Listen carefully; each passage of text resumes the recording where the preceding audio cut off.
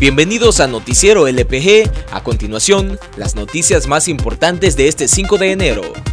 El Gabinete de Seguridad Pública presentó este 5 de enero a ocho pandilleros de la Mara Salvatrucha en Tonacatepeque.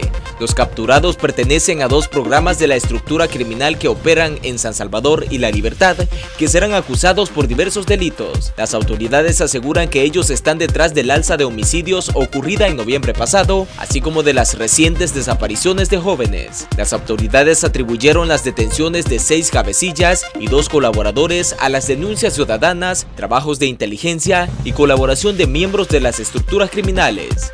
Autoridades encargadas de la ceremonia de beatificación del sacerdote Rutilio Grande dieron a conocer el montaje para el acto solemne que se realizará el próximo 22 de enero en la Plaza del Divino Salvador del Mundo y las calles que la rodean, extendiéndose hasta el monumento a San Óscar Arnulfo Romero. Ese día también serán beatificados los dos sacerdotes Nelson Lemus y Manuel Solórzano, asesinados junto al padre Rutilio en 1977 por elementos de la extinta Guardia Nacional.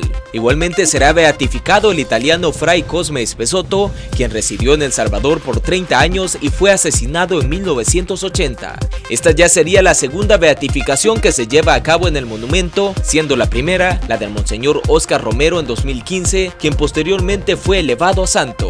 Centros educativos de San Salvador se preparan para el inicio del año escolar de 2022 con protocolos de bioseguridad para clases semipresenciales, esto a pesar que el Ministerio de Educación aún no ha informado de manera oficial los detalles del regreso a las aulas. Instituciones visitadas por este medio detallaron que por el momento el Ministerio ha entregado alcohol gel, jabón y material didáctico sobre medidas de prevención del virus.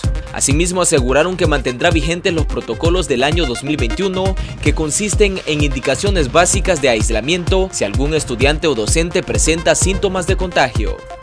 Dos periodistas cubanos que huían de su país quedaron varados en el Aeropuerto Nacional de El Salvador luego de que se les negara el acceso a Nicaragua en su intento de salvaguardar sus vidas. Ambos comunicadores hicieron un llamado al gobierno salvadoreño o a cualquier país en democracia para que les brinden ayuda humanitaria porque uno asegura haber sido víctima de torturas en un centro de detención cubano. Ante la situación, la Asociación de Periodistas Salvadoreños acudió al aeropuerto para conocer de cerca el caso de Héctor Valdés y Esteban Rodríguez.